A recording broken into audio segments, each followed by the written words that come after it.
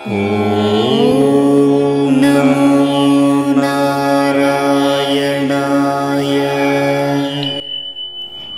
நமஸ்காரம்.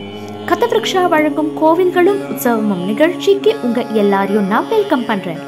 இந்த வாரம் எந்த கோவில் எந்த பெருமாள்னு தெரிஞ்சுக்கிறதுக்கு எல்லாரும் ரெடியா இருக்கீங்களா இந்த வாரம் எந்த பெருமாள் அப்படின்னு பார்த்தோம்னா பிரளய பயோதி ஜலே. ஹரே முகுந்தா துதவானசி வேதம் विहितवहीत्र चरित्रम् अगेतं केशवादृत मीनशरीर जय ஜெகதீஷ ஹரே அப்படின்னு ஜெயதேவருடைய அஷ்டபதியில் பாடப்பட்டிருக்கு. ஜெயதேவருடைய முதல் அஷ்டபதியான தசாவதார வைபவத்தில் ஒவ்வொரு அவதாரத்தை பற்றி சொல்லும் போதும் பெருமாளை கேசவா கேசவான் கூட்டு தான் ஜெயதேவர் தசாவதார வைபவம் அஷ்டபதியை பாடியிருக்கார். இந்த கேசவான்ற நாமத்துக்கு இருக்கிற ஒரு பெருமை வேற எதுக்குமே கிடையாதான் பெருமாளுடைய நாமங்கள்லயே அதிசிறந்த நாமம் கேசவான்ற அவனுடைய நாமம் தான் அதனால இன்னைக்கு நம்ம ஒரு ஆதிகேசவ பெருமாள் கோவிலை பற்றி தான் தெரிஞ்சுக்க போகிறோம் காஞ்சிபுரம் மாவட்டத்தில் அம்மையப்பநல்லூர் அப்படின்ற கிராமத்தில் இருக்கிற ஸ்ரீ ஆதிகேசவ பெருமாள் கோவிலை பற்றி தான் தெரிஞ்சுக்க போகிறோம் இந்த அம்மையப்ப நல்லூர் அப்படின்ற கிராமம் எங்கே இருக்குன்னு பார்த்தோம்னாக்க காஞ்சிபுரம் மாவட்டத்தில் உத்திரமேரூர் வட்டத்தில் இருக்கு. கோயம்பேடுலேருந்து போலூர் சென்னை வந்தவாசி போகிற பஸ் வந்து உத்திரமேரூர் ரூட் வழியாக போகும். அந்த பஸ்ஸில் போனோம்னா நம்ம இந்த கிராமத்துக்கு போகலாம் இல்லைன்னா செங்கல்பட் ரயில்வே ஸ்டேஷன்லேருந்து உத்திரமேரூர் ரூட் வழியாக போகிற பஸ் எல்லாமே அம்மையப்பநல்லூர் அப்படின்ற கிராமத்து வழியாக தான் போகும். அப்படி தான் நம்ம இந்த கிராமத்துக்கு போய் சேர முடியும். இந்த பழமையான அம்மையப்பநல்லூர்ன்ற கிராமத்தில் இருக்கிற ஒரு அருமையான கோவில் தான் ஸ்ரீ ஆதிகேசவ பெருமாள் கோவில். பசியால் வாடியவர்களுக்கு அப்பனாக ஆதரவளித்து அம்மையாக அமுதளித்த பெருமாள் ஸ்ரீ ஆதிகேசவ பெருமாள். அதனால தான் அம்மையப்பநல்லூரில் வந்து நம்ம எல்லாருக்கும் சேவை சாதிக்கிறார். அது என்ன பசியால் வாடியவர்களுக்கு? அது என்ன அப்படின்னு பார்த்தோம்னாக்க முன்னொரு காலத்தில் அதாவது இப்போ இருக்கிற மாதிரி டிரான்ஸ்போர்ட் வசதிகள்லாம் இல்லாத காலத்தில் பக்தர்கள் குழு ஒன்று வந்து காஞ்சிபுரம் வரதராஜ பெருமாளை சேவிக்கணும்னு பாத யாத்திரையா வந்துட்டு இருந்தாளாம் அப்போ ரொம்ப களைச்சு போன அவ எல்லாரும் இந்த கிராமத்துல அதாவது அம்மையப்பநல்லூர் கிராமத்துல இருக்கிற ஒரு அரச மரத்துக்கு அடியில இளைப்பாறலாம் அப்படின்னு உட்கார்ந்தாளாம் பெரியவாழ்லாமே களைப்பா இருந்த போது குழந்தைகளுக்கெல்லாம் களைப்போட பசியும் சேர்ந்து இருந்துதான் அப்போது அங்கே ஒரு சில பேர்லாம் சேர்ந்து இங்கே எங்கேயானா சாப்பிட்றதுக்கு எதானா கிடைக்குமான்னு பார்க்கலாம் அப்படின்னு யோசிச்சுட்டு இருக்கும் போது ஒரு சின்ன பையன் வந்து அவகிட்ட எல்லாரும் இங்கே என்ன பண்ணிட்டு இருக்கேள் அப்படின்னு கேட்டானா. எல்லாரும் பார்க்கறதுக்கு ரொம்ப களைப்பாக இருக்கேளே என் கூட வாங்கோ கோவில் பிரசாதம் இருக்கு தரேன் அப்படின்னு அவள் எல்லாரையும் அழிச்சுண்டு போனானா?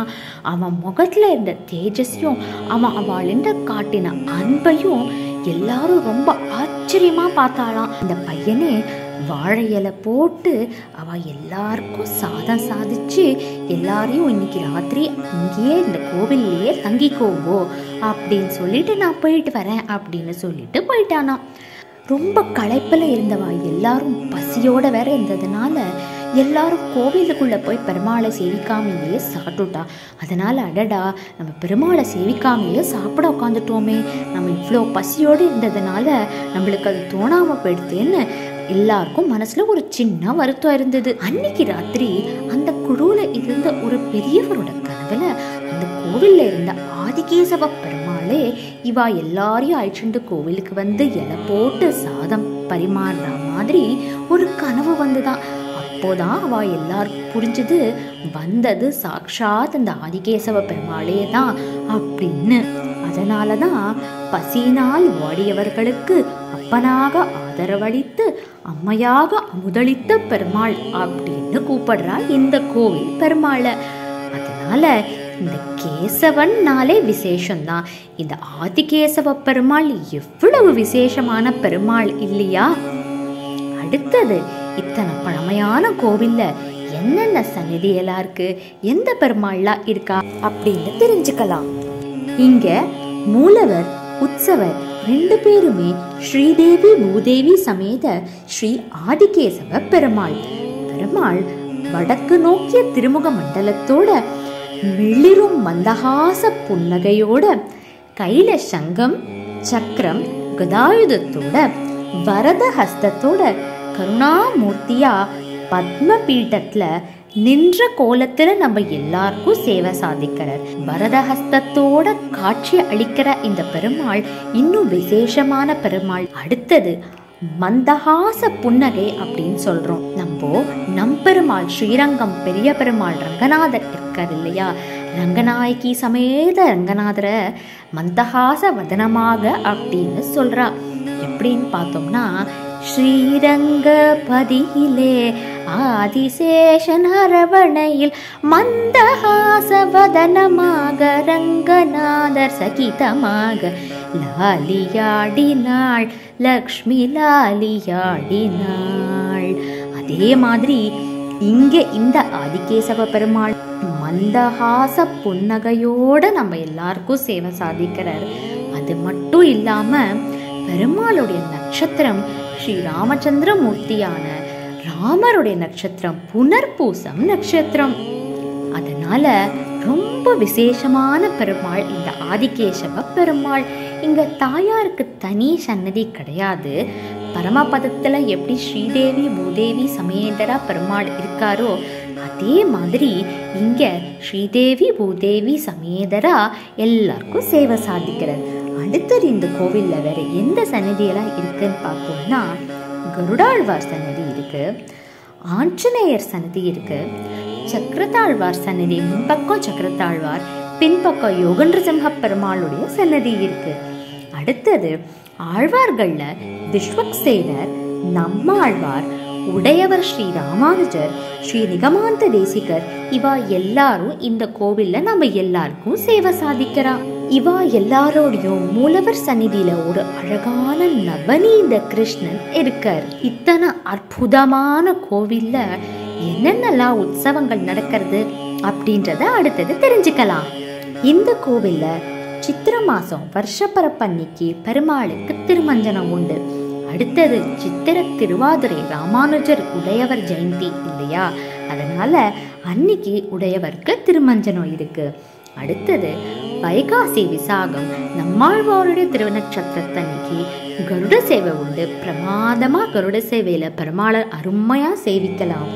அடுத்தது ஆணி சித்திரை சக்கரத்தாழ்வார் ஜெயந்திக்கு சுதர்சன ஹோமம் பண்றதுக்கான பிரயத்தனங்கள்லாம் இந்த கோவில்ல பண்ணிட்டு இருக்கா அடுத்தது ஆடி மாசம் திருவாடிப்பூரம் ஆண்டாள் நாச்சியாரோட நட்சத்திரம் ஆச்சே. அதனால அன்னைக்கும் இந்த கோவில்ல சிறப்பான உற்சவங்கள்லாம் உண்டு. ஆவணி மாதம் நவநீத கிருஷ்ணன் இருக்கார் இல்லையா? அதனால கிருஷ்ண ஜெயந்தி உற்சவமும் ரொம்ப பிரமாதமாக நடக்கும் இந்த கோவிலில். புரட்டாசி மாதம் முதல் சனிக்கிழமை மூலவர் பெருமாளுக்கு திருமஞ்சனம் உண்டு. அடுத்தது மார்கழி மாதம் தனுர்மாச ஆராதனைகள் உண்டு. தினம் திருப்பாவை பஜனைகள் பண்ணுறா இந்த கோவிலில்.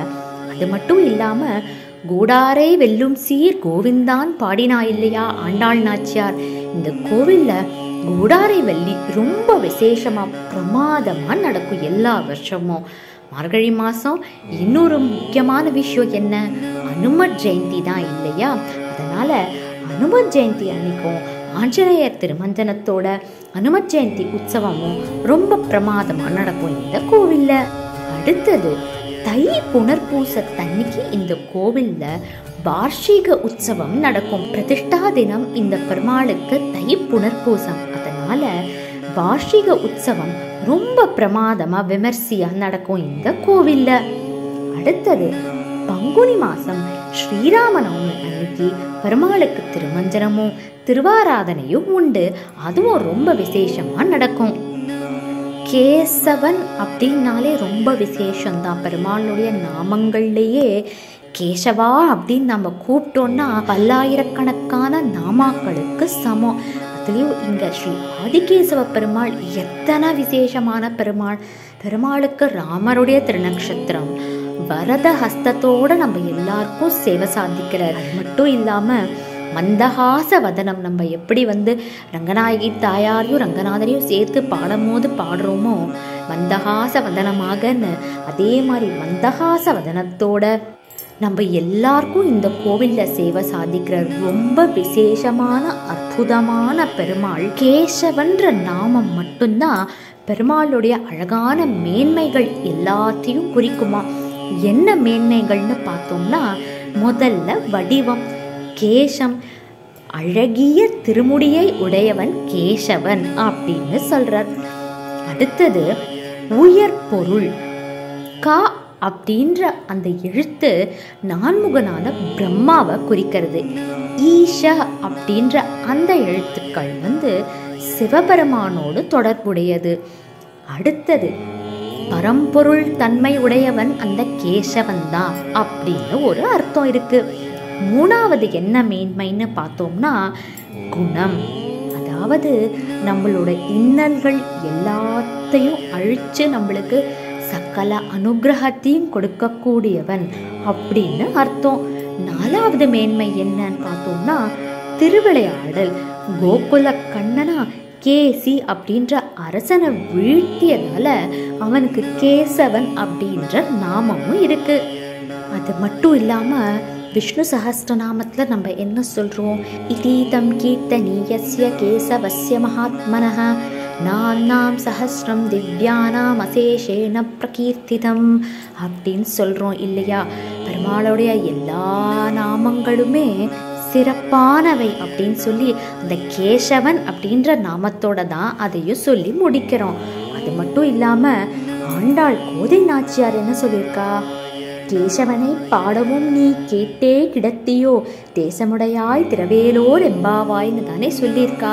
அதனால இந்த கேசவன்ற நாமத்துக்கான அந்த ஒரு விசேஷமே தனிதான் இவ்வளவு விசேஷமான பெருமாள் பக்தர்களோட பசியையும் கலப்பையும் போக்கி தாயாகவும் தந்தையாகவும் நடந்துண்டு அவ எல்லார் மேலையும் அன்பு பொழிஞ்சுண்டு அம்மாவை மாதிரி சாதம் போட்டு அவ எல்லாரையும் பார்த்துண்ட பெருமாள் ரொம்ப அற்புதமான கோவில் விசேஷமான பெருமாள் ஸ்ரீ ஆதிகேசவ பெருமாள். இந்த பெருமாளை நம்ம எல்லாரும் போய் சேவிக்கணும் இல்லையா? இந்த கோவிலை நீங்கள் போய் சேவிக்கணும்னா இந்த கோவிலை சேர்ந்தவாளுடைய திருநாமமும் ஃபோன் நம்பரும் நான் இந்த வீடியோவில் மென்ஷன் பண்ணியிருக்கேன். நீங்கள் அவளை காண்டாக்ட் பண்ணிட்டு கோவிலில் போய் பெருமாளை சேவிச்சுட்டு வாங்கோ. ஸ்ரீ ஆதிகேசவ பெருமாளுடைய சகல அனுகிரகமும் எல்லாருக்கும் கிடைக்கட்டும். நம்ம எல்லாரும் நன்னா இருக்கணும் லோகக்ஷேமமாக இருக்கணும்னு ஸ்ரீ ஆதிகேசவ பெருமாளை எல்லாரும் பிரார்த்தனை பண்ணிக்கலாம்.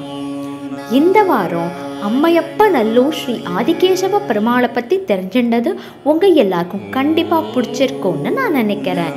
உங்களுக்கு தெரிஞ்ச சின்ன சின்ன கிராமத்தில் இதான பழைய கோவிலை பற்றி போடணும்னா கண்டிப்பாக சொல்லுங்க. எங்கள் சேனலில் நாங்கள் போடுறோம். எங்கள் வீடியோஸ்லாம் உங்களுக்கு பிடிச்சிருந்ததுன்னா லைக் பண்ணுங்க ஷேர் பண்ணுங்க. கதாவிருக்ஷாக்கு மறக்காமல் சப்ஸ்கிரைப் பண்ணுங்கோ. மறுபடியும் அடுத்த வாரம் ஒரு அழகான கோவிலோடையும் ஒரு அற்புதமான பெருமாளோடையும் உங்கள் எல்லாரையும் நான் சந்திக்கிறேன். அது வரைக்கும் நமஸ்காரம்.